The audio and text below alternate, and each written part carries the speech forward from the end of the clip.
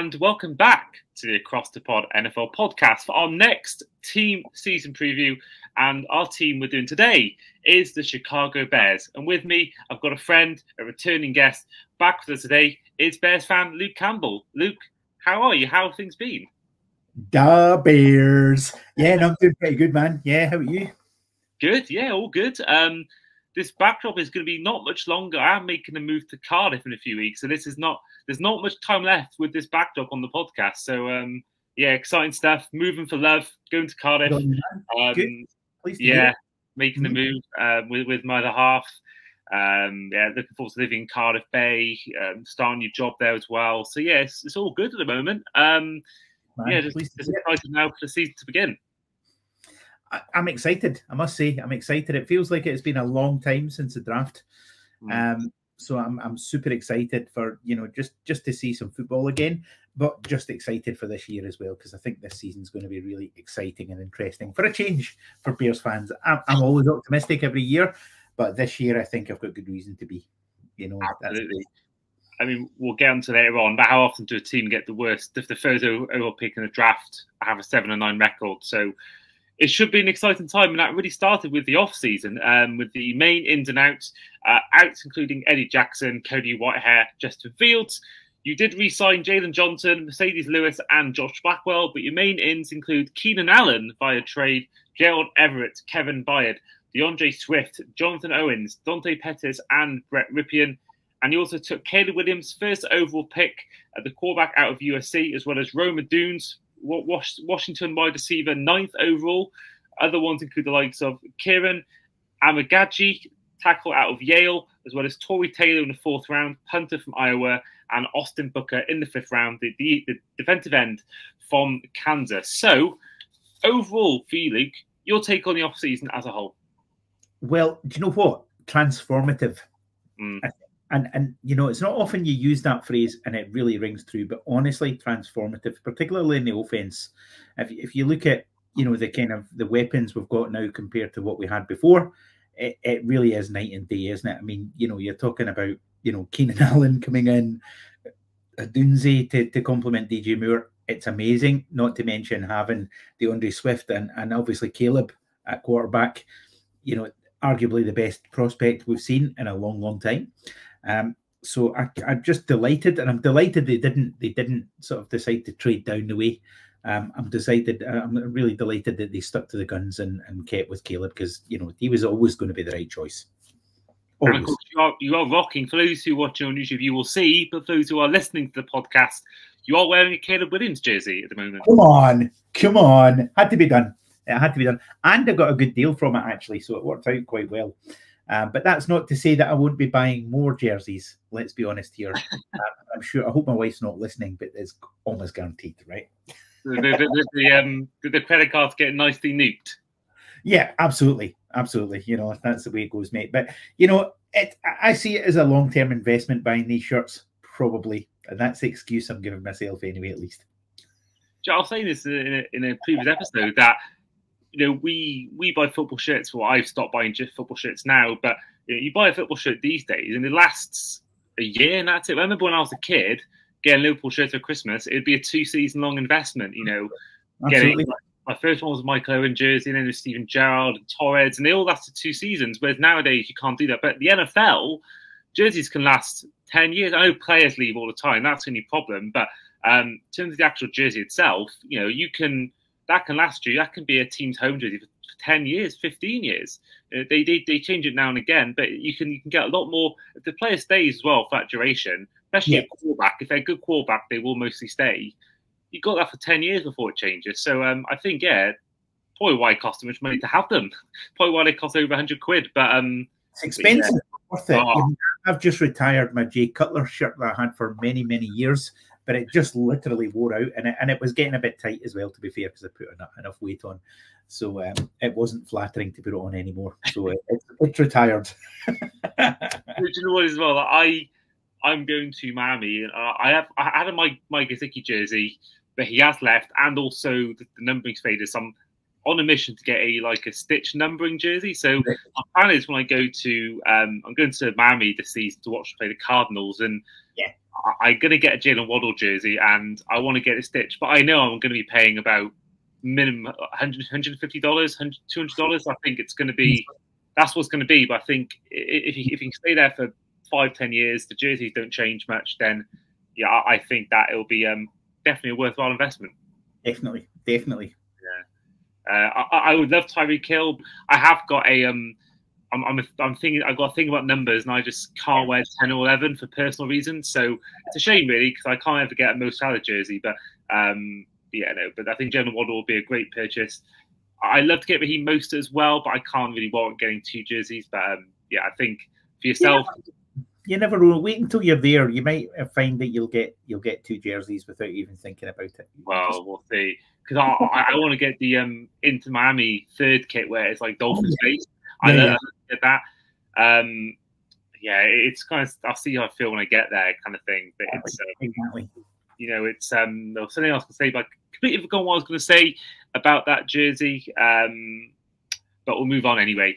So um, now you mentioned Caleb Williams, um, of course, rookie quarterback, first overall pick. Now, the thing is, we love the draft because there's a lot of parity. But if you're a quarterback, often the case is you're the best quarterback in the in the college, you go to the NFL, and automatically you go to the worst team, and therefore a lot of times rookie quarterbacks don't work out and they have terrible first seasons or they don't really make it. And the amount really of first overall picks that have been quarterbacks that actually been in the Hall of Fame, it's not many. There's yeah. few, you know, Troy Aikman, Peyton Manning, but there's not many, and there's a reason for that because they're going to terrible teams. That's why they're getting taken as because the team's been bad enough to get that pick. But in this case with Caleb Williams, I've never seen a first overall pick go to a seven and nine team with the weapons he has. You have Keenan Allen, Cole Kmet, DJ Moore. Oh know, yeah. D'Andre Swift in the backfield. Khalil Herbert, I think, is underrated. Yeah. So, you know, we give rookies sort of passes and give them you know, let off if they have a bad rookie first season because of the situation in. But is this sort of an accept? Does Caleb Williams have much of an excuse? If, if he performs really badly in his first season with the team he's got around him, and do you think he's got any excuse if he isn't to um, perform year one? It, do you know what? It's it's very difficult because you can never really tell if a QB is going to be properly NFL ready until they until they see you know the defensive ends coming after them and stuff like that. You, you can never really tell how they're going to cope with the rigors of it. And and obviously, you know, one of the biggest challenges they have is reading defenses, um, and and it's you know it's not easy. Um, but I I do think that he's he's well set up for success. Let's put it that way. And I think he's arguably the best set up quarterback and, certainly the best set up number one pick um, for success that, that any team's really had in recent times. I can't think of anyone who's been better set up, really. Um, so, so really, you know, I think everyone has kind of high expectations, but to, to, to be honest, I, I, I think that he'll also he does have a bit of a hall pass in the sense that if it, if it doesn't quite go to plan in season one, you know, people will be disappointed, sure, but they, they recognize that it's not always just about the first season, it's about the long term. So there's kind of a mix of things. But I, I, mean, to be honest, I'm expecting a little bit of ups and downs because that's what happens with rookie QBs. But I think the ups will be higher than the downs themselves, if you see what I mean, are considerably higher, and the downs will be fairly shallow, is what I'm expecting. So you, you know, you, you you're probably looking at more more positive stuff over the piece. Um, and, and you know, I think um, or you know, maybe that again is my eternal optimist playing here. I don't know. Um, but I, am excited about it. I must say, really excited. I'm excited to see him in person when, when we go we go for the London game. Um, and I'm trying to persuade my wife to let me go to Chicago at some point this season. So we'll see what happens. Oh, you you got to go right. You got to go to Chicago at some point. Well, I did it last year, and I was there for the Broncos game, which was amazing for three quarters and terrible. yeah and uh, so you know it, it, was and it was amazing experience. I was right in the end zone. It was you know people were fantastic, um, but again you know we, we we needed more consistency. I think we'll have that this year. That that's what I feel. I think he you think he's surely going to be the guy that finally breaks the long term hoodoo of never having a best callback with four thousand yards or more passing. I think there's surely he's the guy that's going to finally do that for the Bears. I would think so. I would think so. He's got enough talent, and and everyone that I've spoken to, and you know, uh, uh, has said that he really has got that talent, and and you know, from day one, um, to be the you know the top QB that we, we all hope he's going to be. Um, you know, so I, I, I think the chances are pretty positive of him doing that. To be honest with you, you know, I would I would say that it's more likely than not, and I think that's a really good feeling to have at the start of the season. And you know, I, I hope that it kind of backs that up, but I, I just feel good about it. You know, overall.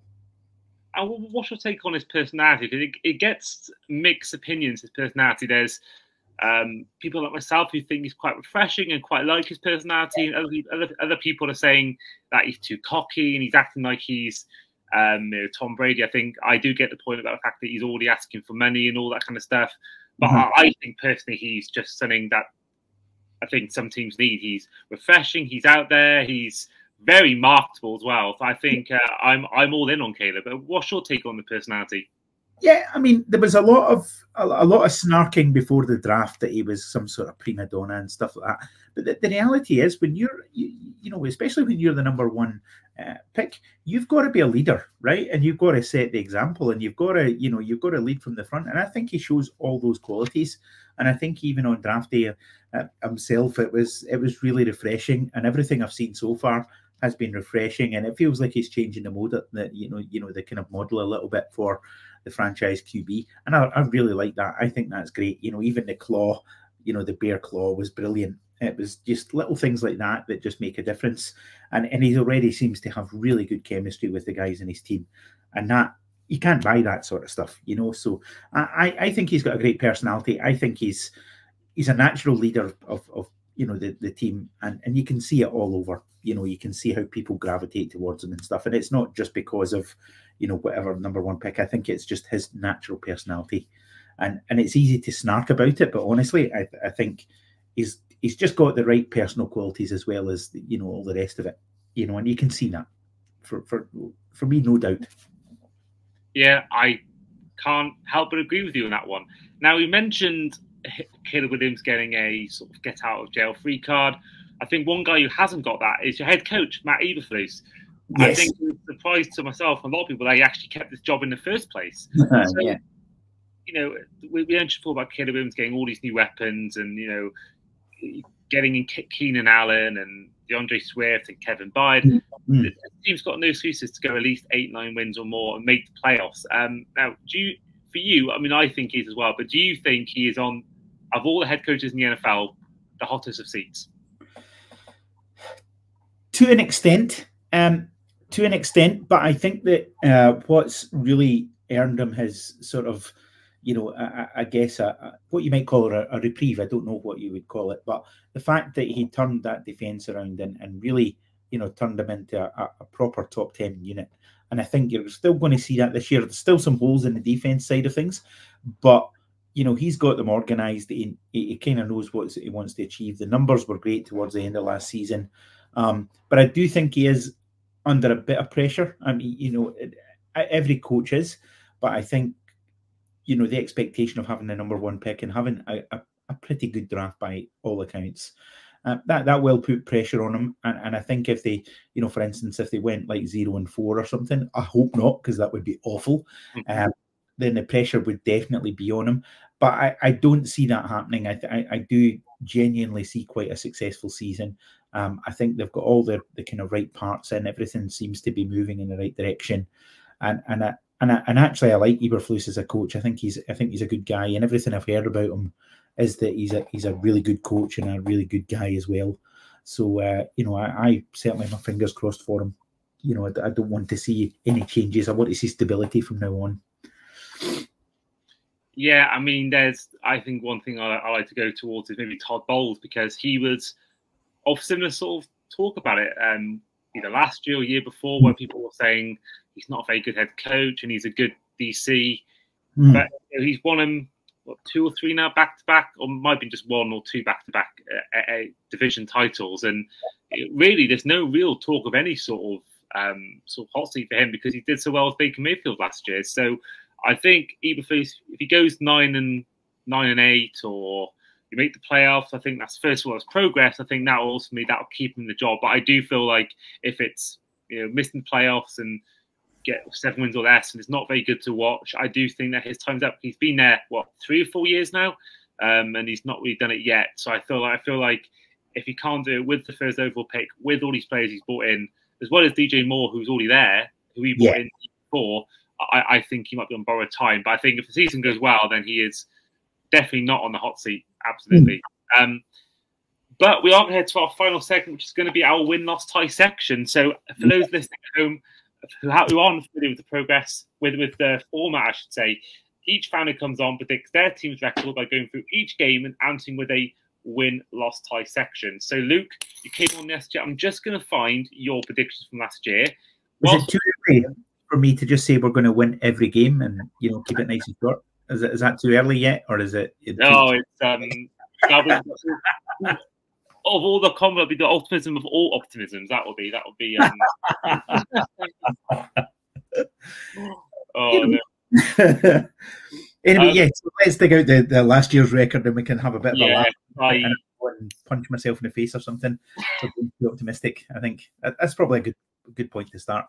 I mean, I stupidly didn't get it prepared. I normally have all the, the, the record there prepared, but I've actually stupidly forgotten to um, do that this time for this episode. So I've just word is just loading up. Let me try and find the um, website there. So season previews. Here we are. So good was that off actually. To be honest, when I think about it, you got seven. Wins, you got seven wins last year.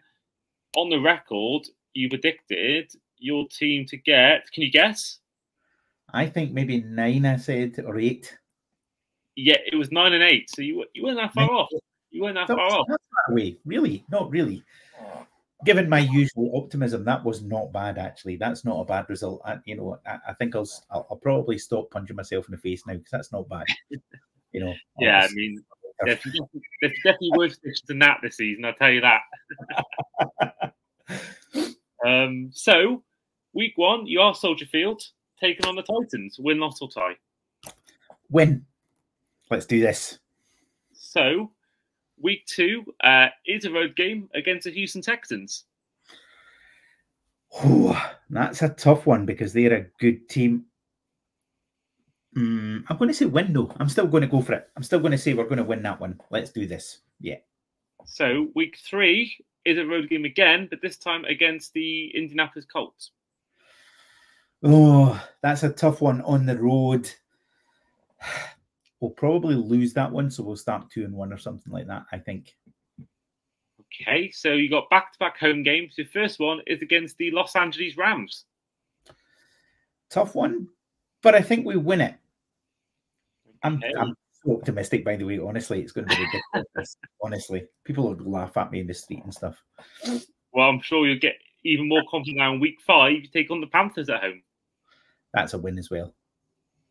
Okay, now Next up is in London. Um, obviously, you're going to the game. I'm sure yeah. you're going to the game, and obviously, I'm hoping we can once again um, go out for a steak like last year. Definitely, definitely. Oh. It's locked in the calendar already, mate. So uh, yeah, uh, and steak has to be happen, right? what was that? Sorry. Steak has to happen, right? I mean, yeah, just... absolutely. Yeah, I mean, it was. Um, I've never seen a steak that expensive before, but that's my um, my old, you know, living at home with my parents mentality. uh, was nice. It was nice. I loved the um the chips were amazing. So yeah, I, would love to go back to that place again. That was um that was really nice. It was good actually, wasn't it? It was a nice place yeah. actually, I must say, and pretty central and stuff. And uh, surprisingly, not completely freezing outside, which I was quite surprised about, to be honest with you. But uh, it all worked out actually, so it was good. It was good fun. Great to see you as always. But uh, yeah. You know, it was so much fun. A good laugh that night. Yeah, it was our first time meeting in person, wasn't it? We had all these Zoom calls before it was obviously the podcast we used to do together, the football podcast. Yep. It was nice seeing you and Steve just actually in person, not just mm. on a on a laptop. Mm, mm. And we still took the mickey out of Steve most of it. So oh yeah, you know, yeah, absolutely, standard. oh, it's um, yeah, it was good. No, I, I loved how central. Yeah, I think what you said, how central it was to everything. I mean, it was very near the hippodrome. It was sort of just yeah, it was perfect for us. walk from the tube, it was yeah, and I definitely go there again. And um, obviously, obviously your friend who wasn't there was watching his team play, but of course you're seeing your team play this year in person in London. Um, you're taking on the Jags. Um, what's your prediction about that? What's your thoughts about that game? Oh, now do you know the London games are always really hard because there is a, there's always a blowout one side or the other. Um, I really want to say win. I really, really want to say win, but I think we might lose that one. And I don't know why, but I think we might. I think I just think it, it might we might not travel that well. I have a horrible feeling that we won't travel that well when we go to London. Well, the last time you were in London, I was there for it against the Raiders. Um, you did lose to the Raiders, and yes. I don't recall before my time really whether you beat the Buccaneers in 2010 or not. Did you win that game? I was at that game, and I think we beat them actually, but we lost to the Raiders, and that was really disappointing. Mm. I was so gutted about the Raiders game, and I think I have a feeling the Jags game will be the same. That we just don't travel that well, and you know we, we, we lose it, which would be a pity, but that's the way it goes. I think as well you got to look at what happened last year, the same sort of thing where the Jags will be there the week before as well, so they're playing in week five. Um, mm. Oh no, no, they're playing are they no, playing the first or third game? I can't remember whether they're playing. Um, the, I know obviously there's. Um, I got a feeling actually they might be playing the game after they play you. Uh, yeah, because it's a Jets before. Because I'm going, I'm going to go to that one as well. Actually, oh, of course, yeah, back, back and then you was back back Tottenham. I was just trying to think. Yeah, that probably wasn't the Jags, was it? Yeah. So, um, yeah, you you, that, you might win that one. I thought if you're if you're playing the Jags in their second game in London, I think that's a lot for you, for you to lose that game. But I think playing them first, you might have a chance. But I think as well they're used to playing. They play in London every year. They're used to it. I, I think that that could be also a factor. Neutral venue. It's know every jersey on display of every team there. It's not really. If that was a home game, it's not really a home advantage for you because um, you'll be playing against a team that is so used to playing in London. So uh, yeah, I think that might be one of the locks of the season for you to lose that game, and certainly the Patriots the following week will be even more of a lock to lose that game. Yeah, well, I mean, you know, I, I think it's interesting, isn't it? Because you know, like I said, it's uh, it's all about the, the traveling and, and and all that sort of stuff, and it, it can really be a problem, you know, for for teams and how they deal with that. And and I don't, you know, I, I and the thing is, you can't really predict it either because some teams do it, they come in quickly, but I, I sort of think that teams that come in last minute and try and do it, you know, or like they fly in the Thursday or something and think, oh, we can just do it in a few days. It's not doing transatlantic travel is not the same as flying across the US, and and so you you, you the players need time to you know to um, acclimatize themselves and get over the jet lag and stuff. Um, so you know, I I, I do th- I do worry about it. To be honest, I really do. Yeah, I mean, you got it's a whole difference between flying in America, what maximum what three hours time difference between the west coast and the east coast, that's and yeah, uh, that's a whole difference between that and seven, eight, nine hours, or maybe maybe five hours jet lag. I think it's, it's a big difference. Um, yeah. But yeah, I do feel like it's you know, it's all always good vibes in London. I always love the atmosphere there, but I do feel like I don't know why more teams just don't travel after the last game. I don't know why more teams just don't head straight to London after they play a game. I don't know why they can't just get a hotel for the entire week. I don't know why. I don't know why these teams do it so last minute. They should all do it. I reckon. Sunday of the game, you fly. I reckon you fly actually from your gate where you play your game on that Sunday. Yeah, yeah, yeah.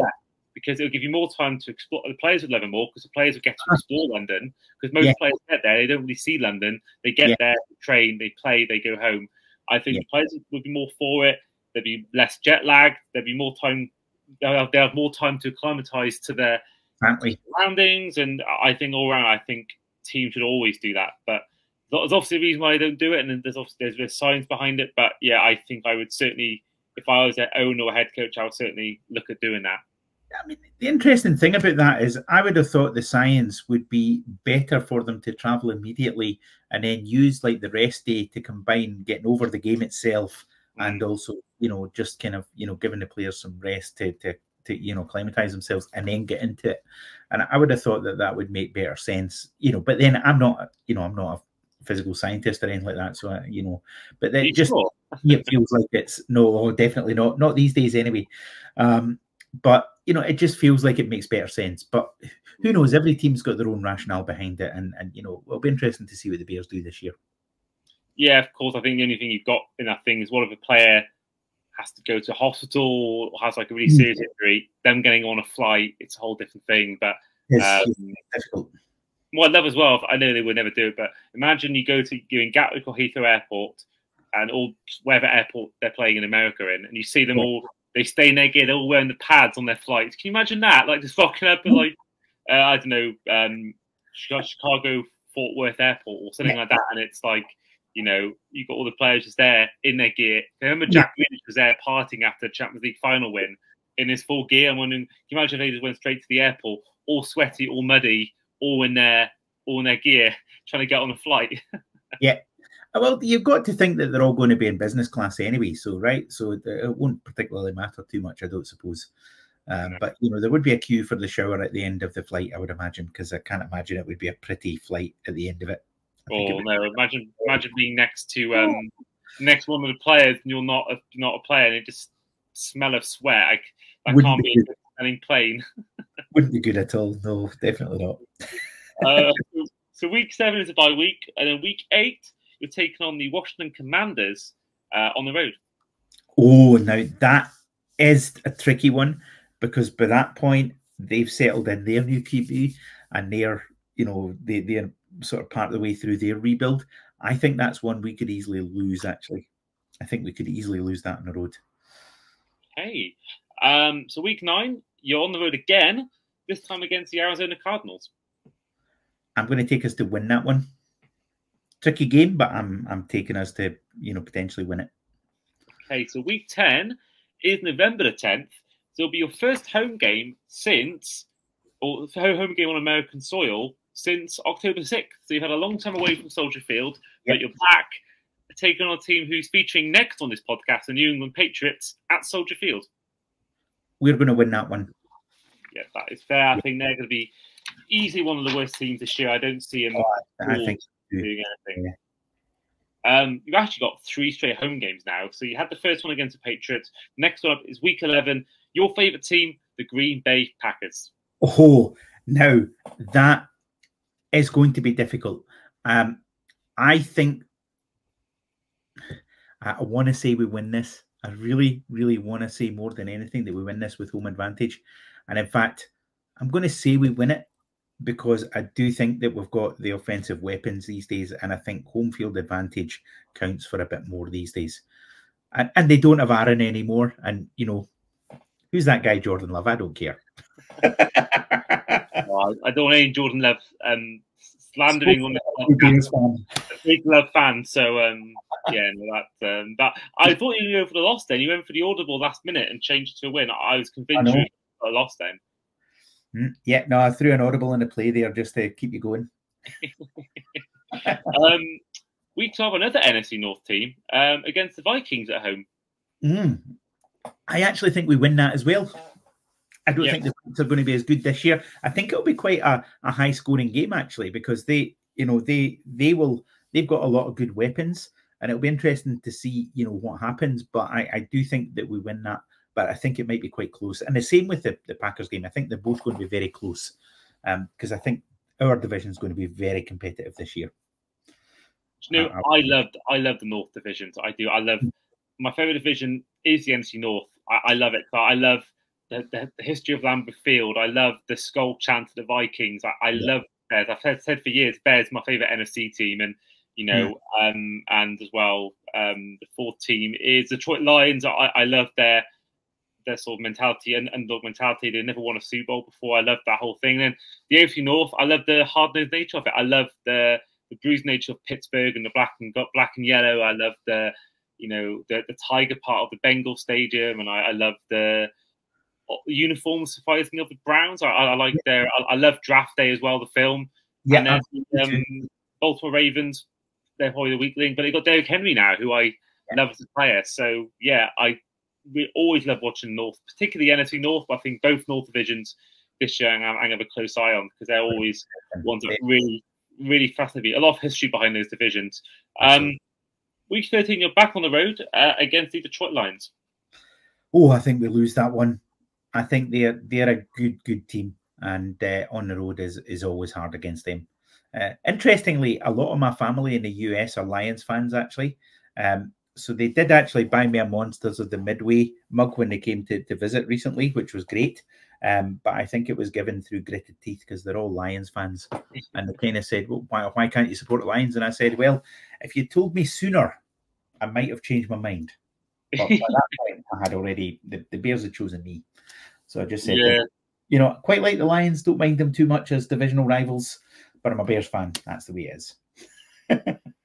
yeah, I mean, I never condone changing teams. I think I, I, I, w- I wouldn't have I'm not against if you could change teams from the Browns with the whole Watson situation, but I think there's normally, I think unless you've got a kid who plays for that team, I think there's very little room for, for me for changing teams to support. I, I don't think that's not how life works. You can't just change teams and one team plays well and you and your team's playing badly. I, I, don't agree with that. I think once you choose a team, I think as soon as you bought a hat or a jersey from that team and and you say and you're saying you're a fan of that team, I think that's it. Then I don't think you can change uh, unless you've got a valid reason, which there aren't many I would accept. Um, well, you go from one road game to the NFC Championship losers to a road game against the NFC Championship winners in the 49ers in week 14, win, loss, or tie. We're going to lose that. They are just too good. They are too good. And, and you know, I'd love to say we're going to beat them, but we're not. We're not there yet. They, they are just too good on both sides. You know, yeah, it's just the way it is. I think we talked, we did, we recorded part one before this episode, and recording part two they have to record this episode. Uh, but I think they're definitely in their sort of their last dance sort of era with the age of some of their players. So I think they'll be eager to try and win it this year. And I think as long as the Chiefs aren't there, I think they might they might win it. Um, but we will talk about it more in, of course, in our season preview episode with myself, yourself, and Steve. We'll, we'll do that a week before the season starts. Uh, for the fourth time in a row, we're doing this now. Um, we've all won one each time. We've all won the predictions each time. So yeah, that will come week before the season starts. We'll do our usual ones like division winners, award winners, and conference winners, Super Bowl winners, all that stuff. So keep an eye out for that later on in the off season, uh, about a week before the season starts. That'll be coming out. Um, so week 15 is a road game, and you're once again playing the Vikings. I want to say we win that because I, I do think the Vikings again are probably not going to be as good this year. I think you know I, I do think that um, I, just think they're going to miss Cousins too much this year, and I, I don't think that you know the guy they've drafted is going to be as good immediately. He might come good, but I think he's you know he's he was probably drafted higher than he, he maybe should have been. I think, but yeah, let's see. Let's see what happens.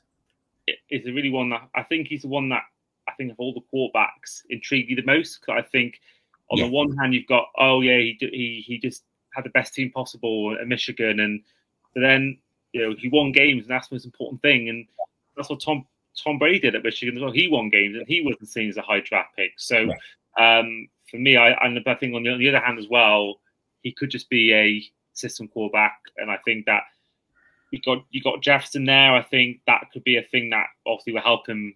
Yes, better because you've got good weapons there. But the same time, I just don't think. I do think the defense will carry them. I think more than their offense at times. So I'm yeah. a big going forward homer, but I, don't think they've got enough. Um, I, I, don't know whether he'll be. I don't know whether he'll be good or not. I think he's one. Really, you, you won't know until he plays in the field. I think he could be one where it takes him a year or two to work it out, or it could be very lights out straight away, or it could just be completely a bust. So um, that's one we'll have to wait and see. Um, I agree on that one totally. Yeah, I, I think it's he's a really intriguing quarterback, and I think he's the one that I kind of want to see the most and see how he does. Mm-hmm. Um, week 16 is the game just before Christmas. If you take on the Detroit Lions at home.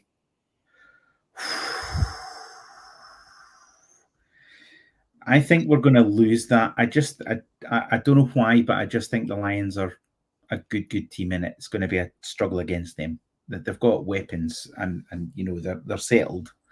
The the you know, yeah, it's going to be tough. I think we'll lose that. I don't know whether you saw a video that came on the socials. There was a, I can't think if they were playing in practice where Amon-Ra St. Brown got involved in a scuffle and the thing that the biggest takeaway from that was the fact that no Lions players came to um, help him out. There was about a melee of Mm. I can't even think the team was not they were playing against in, in a training session. Mm. And there's, there's been rumours of um, a bit of unrest around the contract he received, and that's interesting. There's yeah. um, obviously their team that historically has not won, and there's there's always that potential that they could just it could be a one season thing. I don't think it will be. I think they're they're such a good team all round, but yeah, that definitely intrigued me. That um, you know, yeah. with the with the receiver stuff going on, and you know, with all the um, you know, tension around him on that Netflix documentary, mm. and then the contract. There's um, you could easily see it as that, but I don't think there's a. I think the sort of spirit inside our locker room, the sort of the characters they got in that building, I don't think that would happen. But yeah. I think team starts winning games, more expectation goes down them, and I think that could cause more tension. But we'll wait and see. I hope, I hope, I hope they do well, but that could be a worrying sign. Um, week 17 is Boxing Day. 7:15 p.m. Eastern, which is going to mean that it's going to be about 1:15 p.m. in the UK on the 27th, which yeah. will be the Prime Video game. Um, so yeah, I don't know whether you, you what your plans are around Christmas time, Luke, but will you be staying up for that one around Christmas time? I I, I suspect I may be. Um, you know, I, I, think I'll probably start work a little bit later, uh, but I, I, think there's a good chance I'll stay up and watch that game. To be honest, so yeah, I think I don't know what day that is of the of the year. Boxing Day is going to be on the Thursday, so yeah, it will be a Friday morning. I'm gonna have to look into that as well about what I'm doing about work. Uh, might have to be um, my usual Game Pass, uh, watching the morning, not knowing the results. Um, that might be my plan as well. You know, I, I might try and stay up, but I suspect I, I, it depends how tired I am as well, of course. But uh, let, us yeah. see what happens. it is against Seattle Seahawks at Soldier Field, win, loss, or tie. I think we win that one as well, actually. Okay, so means you're going to week 18, 10 and 6, heading to Lambeau Field. Oh. Now that Lambeau Field has historically been bad for us, historically, and and I actually think we'll lose that because I I, I do think that um, if you know for the the same reasons as before, we're we're looking really good, but we're not quite the finished article, and and I think winning at Lambeau Field might just be beyond us. I hope not, but I've got to be realistic. So, first time, right? First time, can't believe it. well, you do, you do, finish ten and six, which means you would think, especially in the NFC, that get would get you in the playoffs. I think it does. Yeah. Yeah, I, I think it would. And if you did that, um, how far do you think you'd go in the playoffs? Well, I mean, it, it is interesting. I would like to think that we would we would we would not be one and done. You know, I'd like to think that that we would, you know, at, at least progress from. You know, I'm assuming we'll get in the wild card round is what my, my assumption is. I don't think we'll win the NFC North.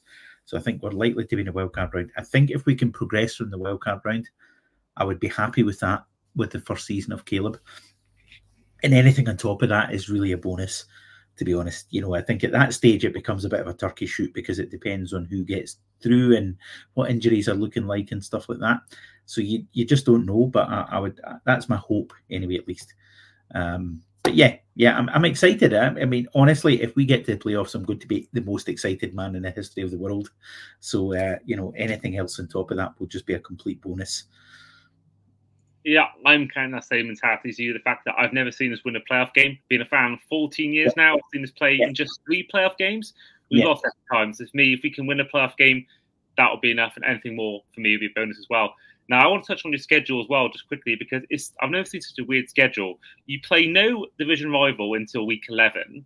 You've weird. got um, no no home game on American soil from week five to week 10. Mm. And then uh, oh, in, from weeks 11 to 18, you only play two non-division division rivals. I've never seen a schedule like it. And then you got three home games as well across November. Uh, yeah. Not single. Or you got one road game in November. Yeah. I think it's a really weird and like topsy turvy schedule. I think I don't know what they're doing at the schedule making department, but yeah, that I that still threw me off. Then I was like, that's actually a really weird schedule because normally you get at least one division rival in the first first half of the season.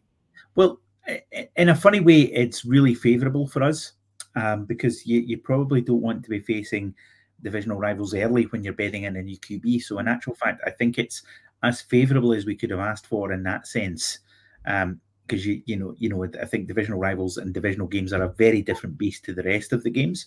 You know, as you know, it's it, there's more intensity and stuff like that. Um, so so I, I do actually think in a funny way it kind of really works for us in, in terms of bedding in Caleb and the rest of the, the, the guys on the offense and defense. Um, so so I'm actually not unhappy about it, but I totally agree with you. It's like really weird, and you know, not not facing a divisional rival till you know week eleven is is crazy. It really is. But I'm not complaining, so don't change it. Anyone? well, for those wondering, I've not talking of don't change it. I've not changed teams. It's actually a Chicago Cubs hat. I realize yeah. it looks very similar to the Bears logo. So I'm just trying to put it out there for those watching on YouTube. I am wearing a Cubs hat, not a Bears hat, because I wouldn't change teams to the world. Even though I, I love the Bears and they're my sort of my soft spot team, uh, my NFC team. Um, yeah, I, I don't um, ever condone changing teams. Yeah, this is a Cubs. This my, my baseball team is the Cubs. That's why I'm wearing the hat. Um, so yeah, that that is why. So just want to put you outside. So you say what you really need is a cold weather team and a, a warm weather team. That's what you need, right? Yeah, uh, you, yeah, you can all go see both teams play, and you can pack for all, all seasons. You know, you got your your exactly. week in the sun, your week in the cold. Exactly. So you know, maybe that's a, maybe that's a thing that you have, like, or or you could have an NFC team and an AFC team. Yeah, I mean, I always say that team I root for in the NFC. My dream Super Bowl. We did a dream Super Bowl episode a few months ago now with Aaron Fletcher from uh, Sleep at Work, and mm. my matchup was Dolphins Bears because I think if there's one team I'm happy to lose to, it is the Bears because they are my favorite NFC team. I kind of the team as Dolphins weren't playing in the, in the playoffs. I'd be rooting for the Bears, but I'm not going to sit here and buy a jersey. I, I, don't, I don't do that. But um, yeah, I, I, like the Bears. I, lo- I love Soldier Field. I think I said before on this podcast if I'd watched the NFL before choosing a team, it would have it would have been the uh, Bears, no doubt. But I had my team set before I watched the game because of Madden. So um, yeah, the shout out for the Bears. I always like it to do well, and I never really want to root against it. And I don't think I could be a fan because I I don't think I could hate the Packers. I don't think I hate the Vikings or the Lions. So I think I can easily hate the Bills and the Jets and Patriots, but I just don't think I can I can ever really truly hate those three teams. So um, yeah, maybe if I'm playing them twice a year, maybe I'll think differently. But um, yeah, that's I think that's the thing though. When you you know when you've got like the, I mean, I'll probably be hoarse when I see you because I'll have gone the week before to just to boo Aaron Rodgers and say the whole game. Uh, not that I hold a grudge or anything, of course. No, not, not at all. not much.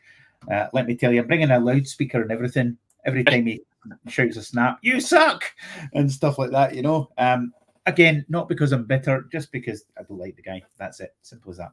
You know. But, in all seriousness, it's true though. If you play teams twice and you get to know them and stuff like that, and that mm. rivalry, it does build up. And there's no question, you know, from that side of things that you know I, I could see, you know, why there is that kind of enmity there and and you know the same for the you know your division as well it, it, must have been really grating to see you know some of the the things happening when you couldn't do much about it either do you know what i mean so uh, that's the thing because um, really the Patriots we've never really um, certainly when they were in their top we were never really anywhere close to competing and that's why really I find them the least to hate out of the three. The Jets I just hate they're the Jets, but uh, but the Bills to me are the one they're, they're the one. Actually, maybe the Pats more than the Jets because they won all the time, but I yeah. think the, the Bills because I've been a fan 14 years. Every year's been losing seasons, whereas Tough. two years we've had playoff appearances and we've gone for divisions, uh, the Bills have stopped this. So I think that's why, as much as I love the fans, I've got a lot to thank Bills fans for.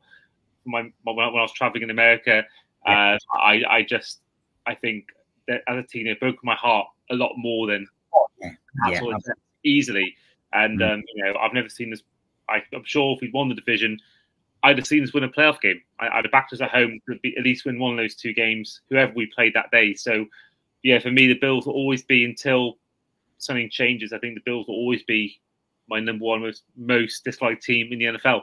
I think uh, I actually like Josh Allen. I, I, I loved watching the Jim Kelly um, football life documentary. I think that's one of my favorite ever football life hmm. It's really touching and moving with all the stuff that happened to him. Uh, but yeah, I kind of wish I was old enough to really see the loss. I reckon that'd been amazing to watch.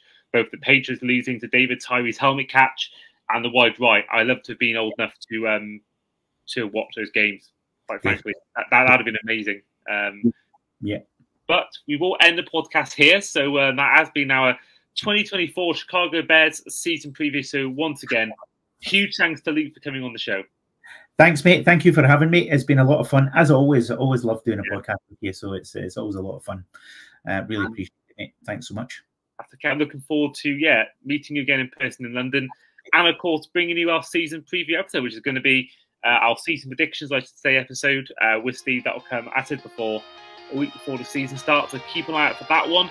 But in the meantime, we're going to go to our next season preview, which is going to be Deadly New England Patriots. We'll see you then.